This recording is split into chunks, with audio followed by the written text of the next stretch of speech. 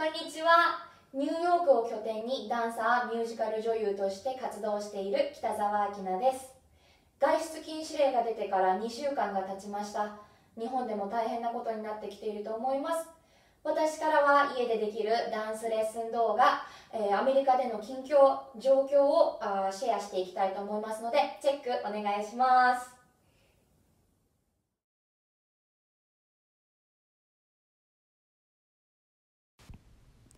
ニューヨークではフードショップ、薬局などの生きるために必要不可欠なお店以外はこの通りクローズしています。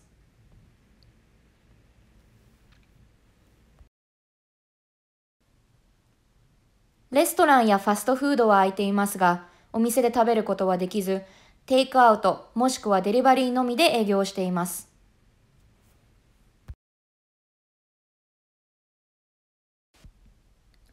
これはスーパーに入るための列です。一つの場所にたくさんの人が一度に集まるのを防ぐために、今営業を行っているお店では入場制限をしています。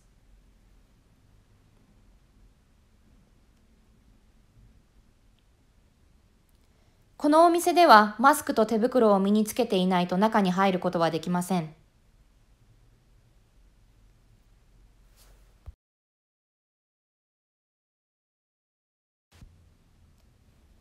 この薬局ではレジに並ぶ人がお互い近すぎないように床にラインを引いて人と人との間は6フィート空けるようにしています。レジではお客様とスタッフの間にガラスの仕切りを立てています。